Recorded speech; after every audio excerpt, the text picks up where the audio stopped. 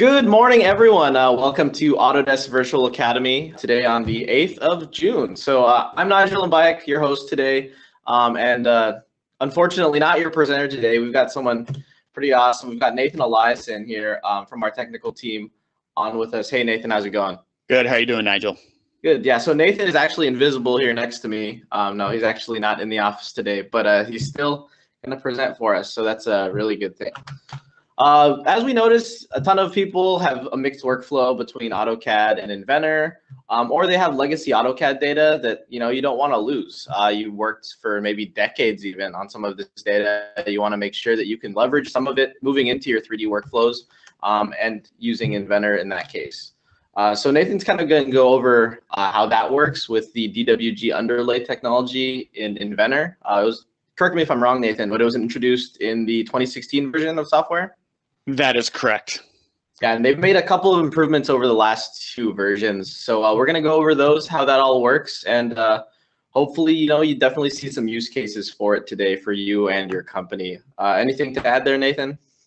Uh, nope, I'm going to be covering that during the presentation, and I'm excited to, to show you guys this technology. Certainly. So if you do have any questions, uh, go ahead and post them in the chat panel. We've got a couple people moderating the chat today.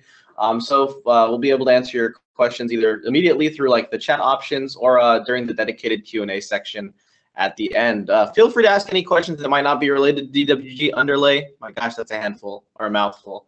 Um, as well, uh, we'll be able to answer those or even follow up you, you after the presentation, be able to uh, get you the answers you need.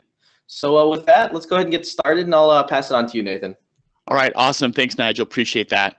So as Nigel said, a lot of you guys out there, a lot of customers, we have a ton of DWG data, or maybe uh, we work with suppliers or customers that constantly send us DWG data. And you know, the question is, how can I reuse that without having to, you know, recreate sketches or recreate geometry in Inventor that already exists? And when Autodesk heard that, they came out with this DWG underlay technology, which I personally absolutely love. I think it's awesome technology. So I'm excited uh, to share that with you today in our presentation. Now, as far as my goals for this presentation, I really want to give you an overview and introductory look at what the DWG underlay functionality is. Um, you know, to give you a quick overview, it allows us to insert DWG files into either Inventor parts or assemblies. Um, we can also then work with these DWG files inside of Inventor. Uh, we can move it around and get it get it located and situated correctly. Um, we can create sketches and we can pull that DWG information into our sketches so that we're not, you know, redrawing it over and over again. We don't want to redo work that already exists. Then we can associatively update 3D models with changes in AutoCAD. And, and that's really, I think, what's really cool about this is that you're not just, it's not just a one-way street where I can create my geometry and then I'm done. Um, but I can actually have active workflows where I do some work in AutoCAD where it's a lot easier it makes sense and use that to drive my geometry inside of Inventor. Um, and another way we can do that is by using the DWG as a skeleton for assemblies. So these are the, the different types of items that I'm going to show you during the demonstration today. Um, but before we get to the demonstration, just like Nigel said, I wanted to give you, you know, a few quick points about the DWG underlay technology. Um, this was introduced back with Inventor 2016. Um, as Nigel mentioned, each year since then, in the 2017 and the 2018 releases, they've been enhancing it and actively improving it and making it better. And after I do my demonstration, I'm going to kind of walk you through what functions you'll have based on the version of Inventor that you're using today. You know, unfortunately, if you're using 2015 or earlier, uh, you're not going to have access to these tools that I'm going to show you today. Uh, but once you get up to at least 2016, um, a portion of what I'm going to show you today at least will be available. Um, as I mentioned, this is really to create 3D Inventor parts or assemblies for that matter that are associative to the source geometry, the source 2D AutoCAD data. And the nice thing is that inside of assemblies, how we typically use it is we use it as sort of a skeleton where you can create constraints and joints against, and that will let you um, easily locate your inventor models. So to demonstrate this, I'm going to do two different use cases. In our first use case, we're going to take an existing AutoCAD drawing. Um, and you can see this is, you know, maybe a simple AutoCAD drawing where we have some some drawing views here. We have some some uh, dimensions and annotations, and we have a title block. And I'm going to show you how you can bring that into Inventor and then associatively create this, this 3D model. I don't have it pictured here, but I'm also going to show how you can use your DWG underlay information inside of a drawing. Uh, it's pretty neat how I think that was added in Inventor 2017 where you could do that. So I want to make sure that you see how that's done. And then in our second use case, uh, we're going to look at how you could potentially use a DWG underlay as an assembly. So in this one, I have this drawing inside of AutoCAD that just shows how I want my loader bucket here to go together. And uh, you can see there's a couple of ribs here that are missing. So what we're going to do is I'm going to bring those ribs in and we're going to use our DWG underlay as a skeleton to locate exactly where those where those uh, ribs go. And you're going to be able to see how that works. And then, you know, I'm going to change the location of the ribs and you're going to see how it updates automatically. So without any further ado, I'm going to go ahead and uh, I wanted to first open up AutoCAD Mechanical to show you the first drawing that we're going to be working with. Um, this is just so you kind of have an idea of what this looks like inside of AutoCAD. And so now let's go ahead and inside of Inventor, I have this new part that I've called 3D plate. And we're gonna go ahead and we're gonna start creating our geometry.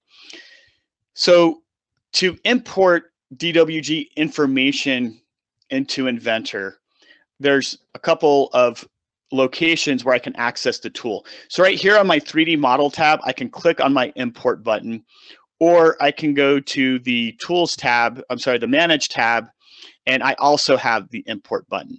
So there's a couple different uh, places on our menu where we can access that.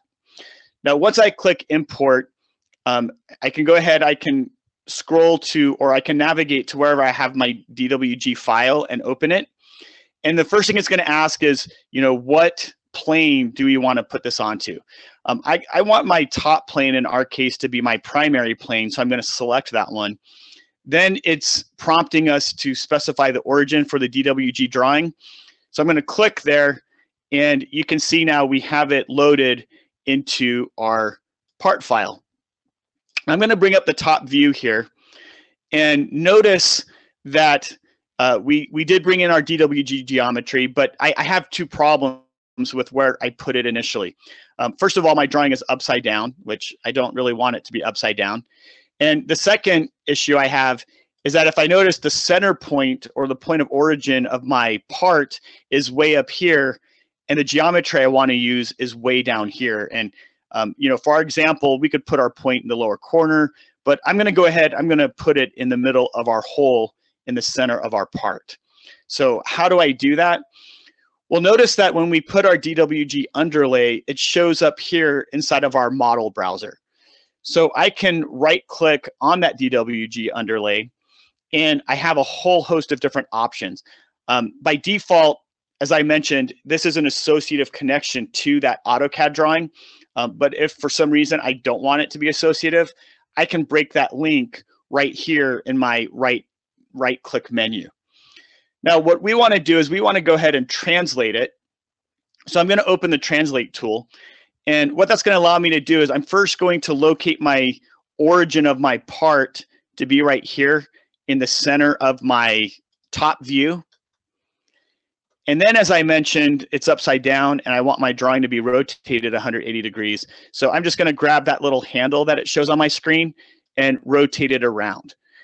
So now with that one command, I fixed both of those initial problems. You can see that now my point of origin of my part is in the center of the, the plate that I'm going to be modeling. So I, I like where that's located and my drawing is oriented correctly. Now, inside of Inventor, I don't really want this title block. You know, I don't want um, some of these hidden lines in here. So notice that we have access to all of the AutoCAD layers right here inside of Inventor. And this lets me go in very quickly and to start deciding which elements I want and which elements I don't want to be shown. So I can turn off my hidden lines, my title block, and I can get down to just the information I want in order to turn this drawing into a 3D model. Now, in addition to that, notice that right now I'm in a top view, and this is going to be my front view, and this you know would be a right side view, if you will. So since I'm in my top view, all I really want to see is just my top view portion. So in 2017, they added the ability for us to crop the DWG.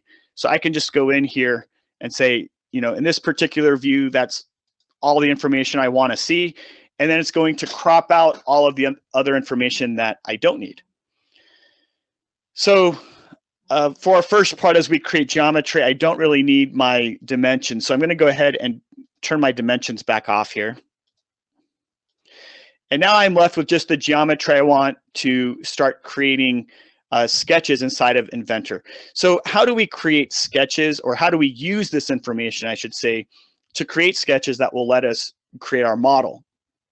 So I can go ahead and um, we're going to pick my top plane here. And then I'm going to start my sketch. And with Inventor 2016, they added this new command on our project geometry menu. It's called project DWG geometry.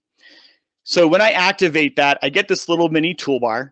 And if I hover over these options, I have the option to either project single items, connected geometry, or if I have blocks, I can select blocks.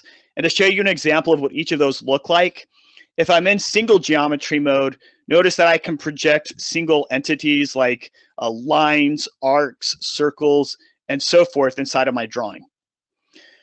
If I select connected geometry, it's going to infer different lines that are connected together and give me different options. And then blocks, if I don't have any blocks, then nothing will show up. Uh, you know, I can't select anything. Um, you can see here in my AutoCAD file, I did select my perimeter. I created my perimeter as a block. So I'm going to go ahead and select that and notice that it turns yellow, which means that I've projected it into my sketch that I'm currently creating. And then I'll also go ahead and I'll select this uh, middle hole. And that's all the geometry that I want for this. Um, in 2018, by the way, if you do select the auto project geometry, uh, we now support that. Uh, but for this example, I'm just going to manually select what I want to project into each of the sketches that I create. So now the way I designed this, you can see that my front plane is actually in the center of my part. So let me scroll this around so you can see it a little bit better. And I actually want a plane here on the front of my part where I'm going to put my front view. So what I'm going to do with this front plane selected I'm just going to go ahead and create a parallel parallel plane through a point, and I'm going to pick the point at the front of my part. Now, at this point, I want to bring in another copy of my DWG underlay so I can place it on my front plane. Um, we need a new copy for each different plane that you want to put your DWG underlay onto. Um, I can go through the same process where I click import and I can import it again or they've added a shortcut where I can right click the DWG underlay in my model browser and I can just say add an instance. And when I add an instance, again, notice that I'm prompted for another new plane. In this case, we're going to pick the front plane. And then I'm prompted for a new point of origin. And I'm going to go ahead, I'm going to select the center line of our bottom face there. So now notice it's inserted another new copy. And what I also want to point out is that whatever whatever changes I make to one instance of my DWG underlay, it makes the changes to the other ones as well as far as layer vi visibility is concerned. So if I turn on dimensions, um, it's going to turn on dimensions not in just the underlay that I have active, but all of my underlays. So I'm going to go ahead and turn on the dimensions. Uh, let me flip to a front view. Um, we need to crop this out because all we need for our front view is just this little portion right here. So let's go ahead and, and crop it. And then just like we did before, I want this to be located here where my other part is, um, and I want it to be on the center. Uh, let me just real quickly get rid of the, the dimensions again to make this just a little bit easier to see. So now I want to go ahead and I want to translate this just like I did the other one we want this to be with our insertion point we want it to be rotated around 180 degrees. And I could type that in if I wanted to. I'm just doing it with the uh, drag and drop method. And now once I place that, you'll see that I basically have my sketches lined up how they would be oriented with respect to each other in 3D, where I have my top view on my top plane, I have my front view on my front plane, and I have them lined up together. So just to make this a little bit easier to see, I'm going to go ahead and I'm going to hide the, the um, top view. And we're going to go ahead and create a sketch on our front work plane right here. And then I'll hide that to get that out of the way. And just like we did before, I'm going to use my Project DWG Geometry tool. Um, and this time I'm going to select the option for connected geometry. And I'm going to just select the perimeter or the outside of my, my uh, part right there. So now if I finish my sketch, um, if I hide my DWG underlay and I show my sketches, you'll see that we basically use our DWG file to quickly come in and get my sketches set up so I can start creating my part. Now at this point, we can start extruding, we can start revolving, sweeping, you know, the typical type of features that we create with Inventor. So what I'm gonna do, you know, I could extrude this first or I could extrude this face first. I'm gonna pick this face.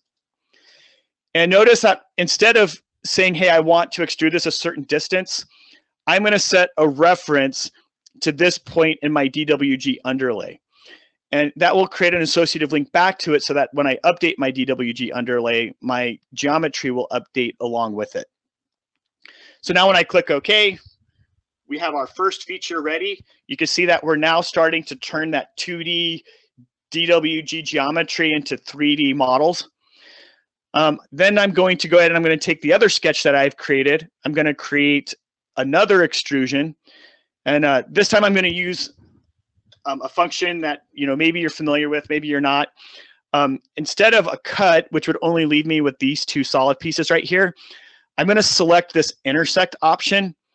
And what that essentially does is it takes my profile, it moves it through the part, and whatever part of this geometry that falls within this profile, it keeps, and it cuts or gets rid of everything else.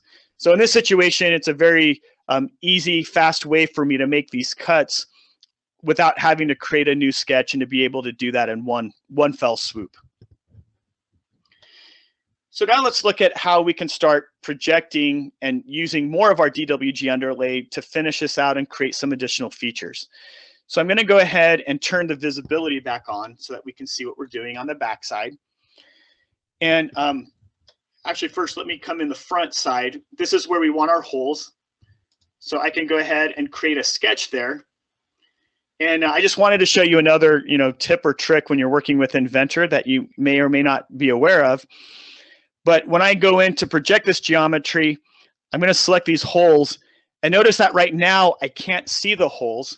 So it doesn't look like I really did anything. But if I turn around, I can see there my holes are on that front face where I'm creating my sketch.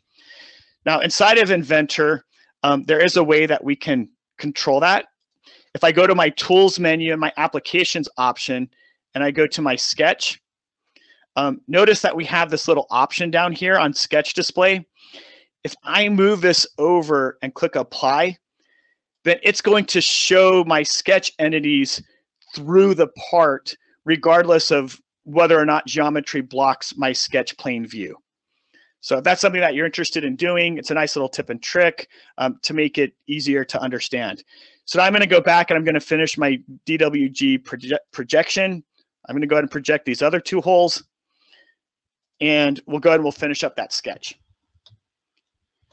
So now we want to go ahead and we want to create those holes real fast. So we'll use the hole tool. We'll select those sketch points. And now instead of having to go in and say, you know, how big is that hole? Um, what I can essentially do is just say, let's measure the diameter of that hole and it will automatically set them to be the right the right um, diameter. So now I'm just going to go and I'm going to, instead of projecting this on the front face, this last hole, I'm going to just project right here on the back face. To open up the hole tool again and create that hole real fast.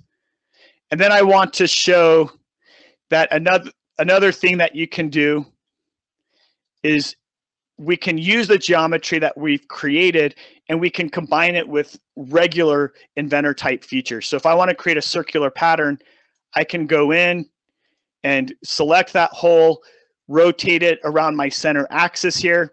Um, in this case, you can see I need seven holes instead of the default six. So when I change that to seven, I, I now have this part the way I need it. All right, so at this point, I'm gonna go ahead and save my part and I wanna show how we can use this now inside of a drawing. So if I go ahead and, uh, and, and before we go to the drawing, I'm gonna do one thing real quick. I'm gonna go to my layer visibility and I'm gonna turn on my dimensions so that they show up. Um, and then I'm gonna go and I'm gonna hide this so that it doesn't show up in my 3D view, but, but we have those, those layers turned on. Now, I have the option, I can go in here and I can create dimensions right here if I want, or I can take advantage of the fact that we have this 3, 3D, or I'm sorry, this 2D underlay in my part. And notice that if I go here under my model to that DWG underlay, I can right click, select include, and now it's actually going to display whatever layers I have visible for my DWG underlay. And it's also going to respect the cropping that I did to show just the part of the DWG underlay that's pertinent to my view. And I'm going to go and I'm going to do that to my other view here. Here's my, my other view. And here's that DWG underlay. I'm going to right click and select include, and it's going to include those dimensions as well. So now let's see what happens when I go back to my AutoCAD drawing. And I'm going to make a few little changes. So I'm going to take this, this center hole right here. And instead of it being 80, I'm going to change that value to 60 for our radius. And then I'm going to come down here to my bottom view. And I'm going to move these two. I'm basically going to uh, make this thicker by 25 millimeters. Then, of course, I'll stretch this back out so that everything connects properly inside of AutoCAD. Um, and then we're also going to fix this dimension so that it shows up correctly. All right, so you can see I just made a few quick changes to my DWG. I'm gonna go ahead and I'm gonna save that. And now notice that when I go back to Inventor, I'm gonna go back to my part first. Um, notice that we have these little lightning symbols next to the, our DWG underlays. And that's to indicate to us that it's been updated and we need to refresh our part or update our part to reflect those changes. Now notice that it, it made those changes appropriately, just like we told it to. And um, now if I go back to my drawing, um, it also automatically updates with those changes as well. And uh, it looks like I accidentally also moved the center here. Let me move that back. Let me resave it. Go back to Inventor and update it again so that it shows up correctly. And so now you can see that any of those changes that we make back in our AutoCAD file, um, as soon as I update those, they get updated inside of Inventor. So one great use case for that is, you know, I know a lot of our customers sometimes have very intricate profiles that they need to extrude. And you could create those in AutoCAD where it's, you know, maybe it's easier to create those, uh, those type of extruded profiles. And you can bring those into your sketch environment and use them directly without having to re redraw them inside of Inventor. So now I want to go to my second use case that I wanted to show, and, and this this is the bucket loader. And as I mentioned, we want to go ahead and um, put some ribs on here. Now, if I'm using Inventor 2017 or Inventor 2016, um, the only way I can use DWG underlays inside of assemblies is by putting them into a part first and then using it in the assembly. Um, in 2018, I can bring it in direct, and I'll show you that in just a minute. Um, but for now, I'm going to show you the method um, that would have to be used, again, if you're in Inventor 2016 or 2017. So here I opened up that part, and this is just a blank part that I had put inside of my assembly where I have my origin point right here. And I'm going to import my bucket underlay drawing um, very similarly to how I did it um, in my previous example. So I'm going to go ahead, I'm going to uh, put it on my front plane this time because that's the way I, I, have it set up in my assembly. And uh, then just like we did before, we're going to go and we're going to translate it so that my origin lines up with the center of my, my um, part right here. So now that I've done that, when I go back to my assembly, notice that my DWG overlay or underlay um, now shows up right where I have this bucket selection part located. So if I go to the back, you can see I have it lined up with my model. Now, I want to go ahead and use this to locate a couple of ribs that we're going to insert. So I'm going to go to my Assemble tab, and we're going to insert this bucket rib that I have created. I'm going to go ahead and put in a couple of different instances. And then I'm going to use my constrain tool to um, quickly attach the ribs to the right geometry right here inside of my bucket. And I'm going to need to do that twice. Let me select that surface along with this surface. So at this point now you can see that I have both of my ribs on my model and you can see that they're attached to that, but I can move them uh, sideways and I can move them up and down. So now I want to constrain them so I, I can't move them sideways and up and down. So I'm going to create some constraints, but this time I'm going to create constraints in relation to my DWG underlay. And notice that I can just select those surfaces that I want them to be connected to and line it right up with my DWG underlay. So now if I look at my model, I've constrained it from moving sideways, but I can still move it up and down. So now we're going to go ahead, we're going to constrain it completely. I'm going to go ahead, I'm going to turn on that constraint tool again. Uh, I'm going to line it up to the bottom of my DWG underlay geometry right there. Uh, this one is this rib right here. And now by using my DWG underlay, I have them located exactly where I want them to be, as you can see in that view. And if I try to move my geometry, it's completely constrained, so it can't move anywhere. Now, let's go ahead and um, note it. And what I want to do is I'm going to open up that DWG underlay. Uh, notice that I can go right here. I can say open up inside of AutoCAD. And so it's going to open that up um, right here in my AutoCAD instance that I had open. And what we're going to do is we're going to just quickly move these ribs over. Um, so I'll just move these over like uh, 80 millimeters that way.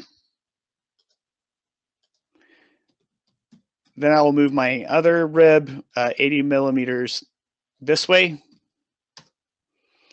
I'm going to go ahead, I'm going to save that. And now again, if I go back to my Inventor assemble, uh, first of all, if I go back to my Inventor part where I have my DWG underlay inserted, you'll notice that again, it alerts us that we need to update our part. So I'm going to update that. And then when I go back to the assembly and I hit update, uh, notice that my ribs now move and they are associated to that underlay and their location updates um, just as we expected. Now, I'm not going to go through that whole exercise again, but I did want to show that in Inventor 2018, um, instead of uh, being required to bring it into another part, um, as I mentioned, right from my place command, I can go here and I can say insert the DWG file. Um, I can go ahead and I can select it and I can bring it directly into my assembly without being required to put it into a part first. So let's go back to our, our PowerPoint here. And I just wanted to, um, again, reiterate what capabilities and functions are going to be available depending on which version of Inventor that you're going to be using. So with Inventor 2016, that's when that project DWG geometry command was added in the sketch environment inside of Inventor. And so that will be available in you know 2016 through 2018. Um, you'll also in 2016 be able to control the visibility of your layers. um, you'll be able to reposition and move around your DWG so that you can you can line it up between your your part and your drawing itself. You, can also in an assembly create joints, constraints, and assemble command, and you can reference that DWG geometry that you project. And it's associative when you make changes to the DWG um, back to your model inside of Inventor. So that's all part of Inventor 2016. Now with 2017, they added the capabilities that you saw with the drawings inside of Inventor, where you can actually include DWG underlay information in your drawing views. That's also where they added the ability to crop the DWG underlays where um, you can focus on just the portion that you want for the specific instance that you've placed in your part or your assembly. Um, they also have associative placement. So if in a model, um, my my origin point that I put it in, if that changes around based on geometry changes I make, it'll actually move your DWG underlay around along with the model changes. Um, it also came up with an easy way to redefine the DWG placement. So 2016, if you want to change it, you might have to delete it and replace it. Whereas in 2017, I can hit the redefine command and pick a new plane and a new insertion point. Um, and then they added that nice right click menu where you can add a new instance. Um, they added that little shortcut inside of Inventor 2017 as well. Now talking about the capabilities in Inventor 2018, um, this is now where you can insert DWG files directly into assemblies. You know, the method I showed you works in 2016 and 2017 where you put it in a part and then you use the DWG underlay in that part to control information at the assembly level. Um, also in 2018, they gave you the ability to insert multiple DWG underlays. And by that, I'm not talking about multiple instances. I'm talking about um, if I have three different actual AutoCAD DWG drawings that I want to put in a part or an assembly, I can now do that in 2018. Um, in 2017 or 2016, you can only have one DWG drawing that you use as your your underlay. But now in 2018, I can I can insert multiple copies or multiple drawings. Um, we also have that nice little open in AutoCAD shortcut that I showed you at the very end. Um, that was added to 2018, and Autodesk added support for the auto project options in your your application options, where it can automatically project DWG information into your sketches. So just a quick summary of you know what we what we reviewed and went over in today's presentation and demonstration. Uh, we showed how you can use and you can take advantage of all that rich DWG AutoCAD information that you have, and you can bring that information into Inventor parts and assemblies.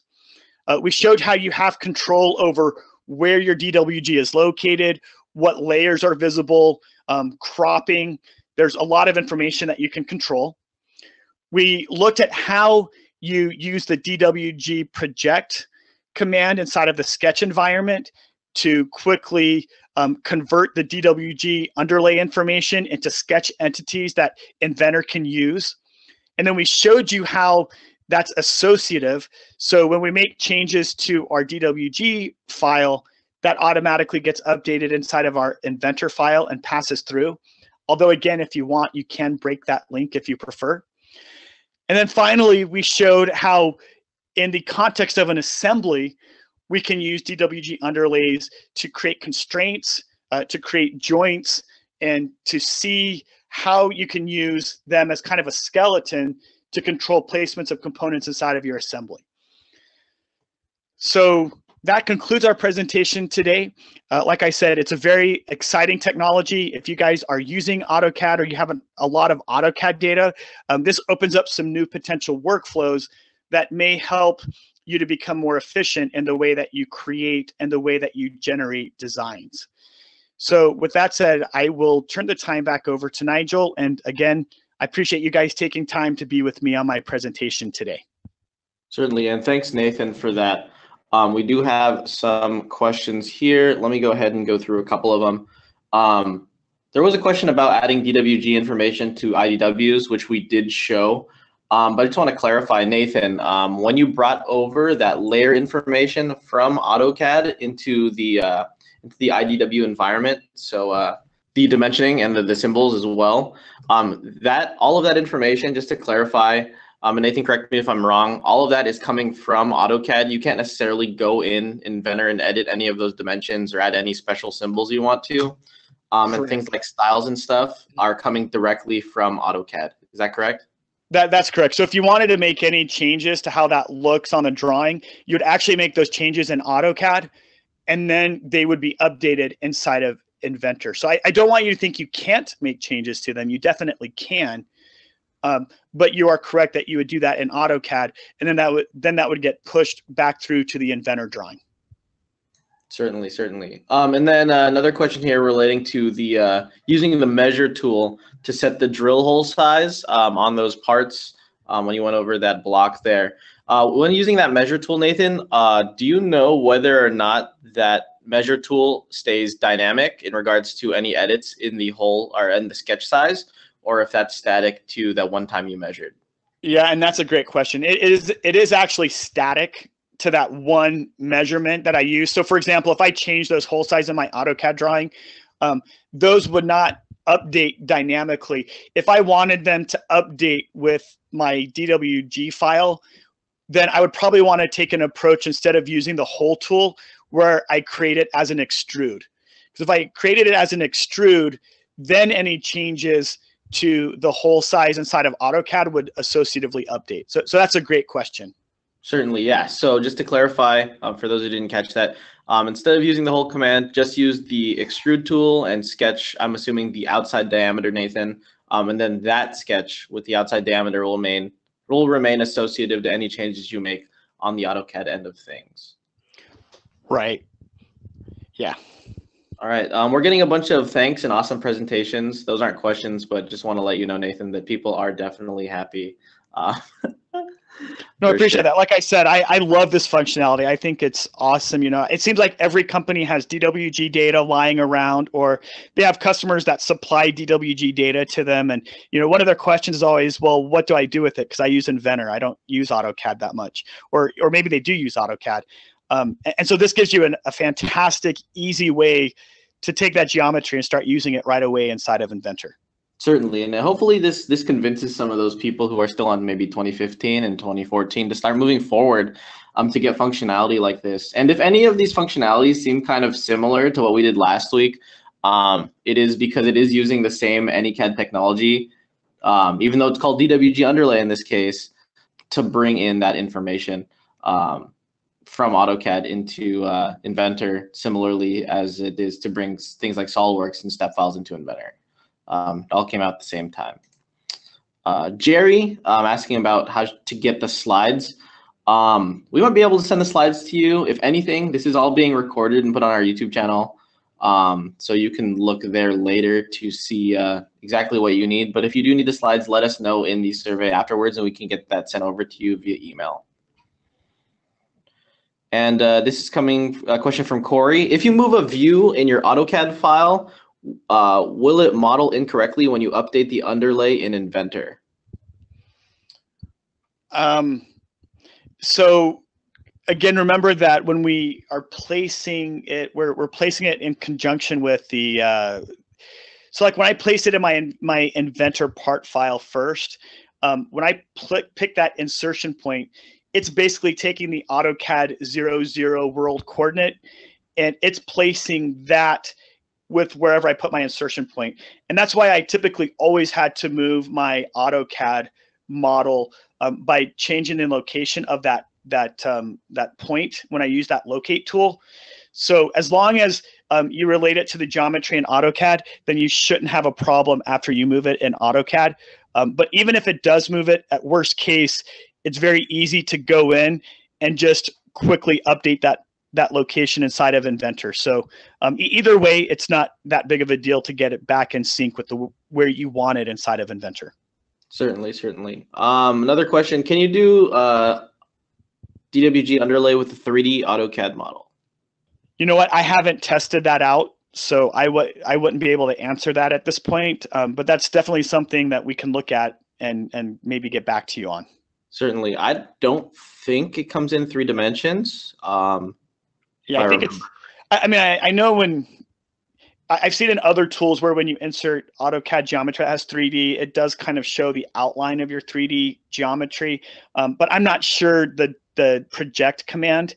I'm not sure if it recognizes you know 3D edges and different entities like that. So that's something that would have to um, explore and then potentially get back to you on.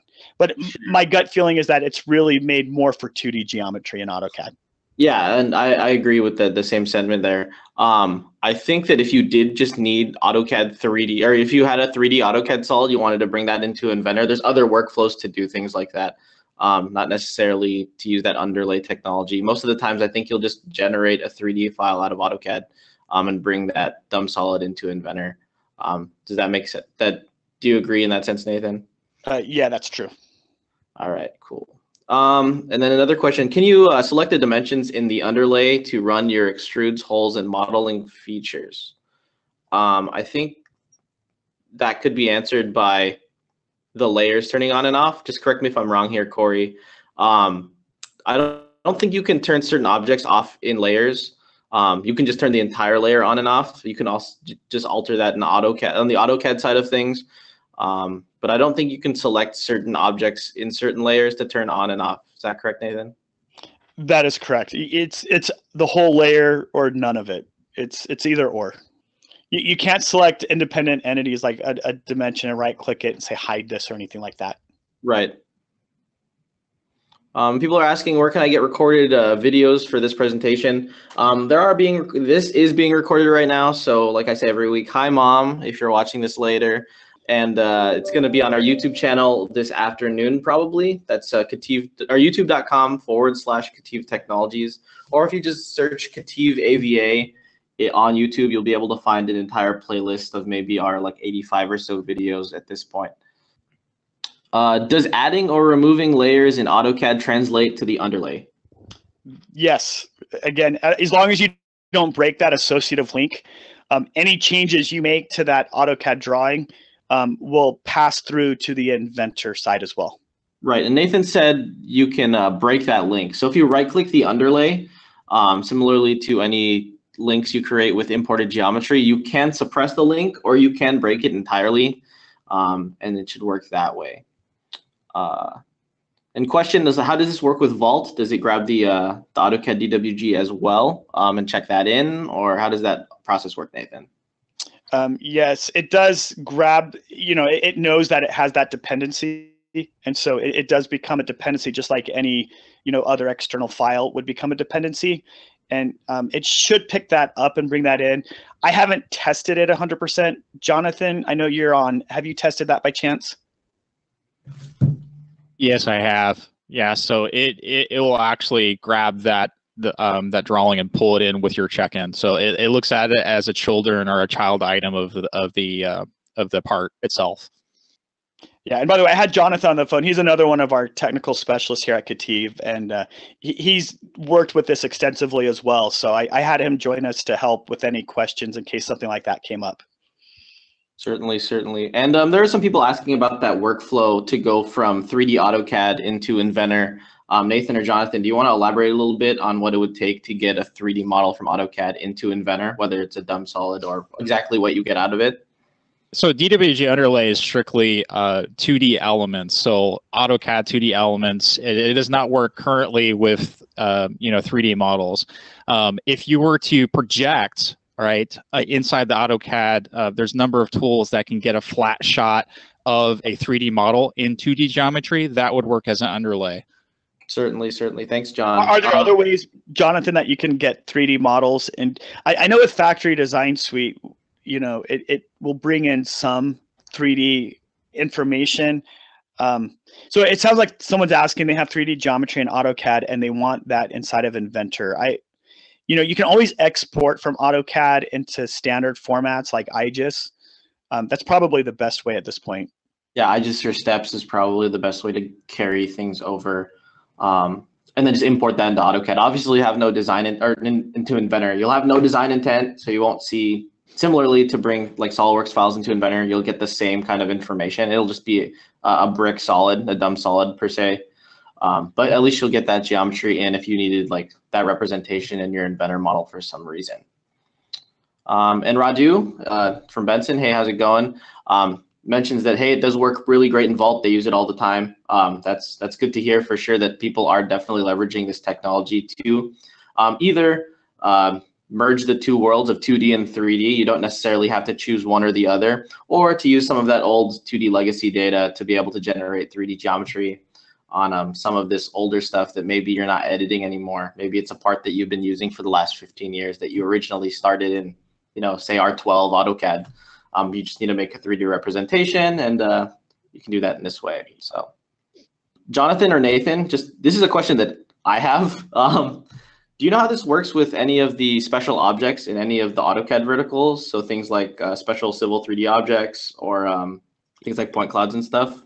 Yeah, so since they're all based on you know an AutoCAD platform, as long as that is a AutoCAD object, right? As a if you can select those objects and manipulate them the same way that you would any other um, you know sketch object, line object, things like that, blocks, right? um, all of those elements can be used as a underlay, but they all have to be 2D elements. Okay, makes sense. Cool. Um, so I think that's everything for questions. If uh, anyone thinks of anything else, feel free to shoot us an email at questions at KETIV.com or uh, give us a call and uh, we'll definitely be able to uh, answer those for you. Uh, again, like I mentioned, this recording is going to be available on our YouTube channel. That's youtube.com slash Technologies. That should be up later this afternoon if you need to catch up or maybe you missed a bit of the presentation so you can watch it over again.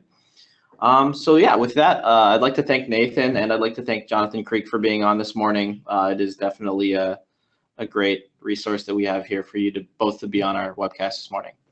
All right, thank you everyone. Yep, and uh, just to, to let you all know, uh, next week we're going to be doing a Vault Security AVA.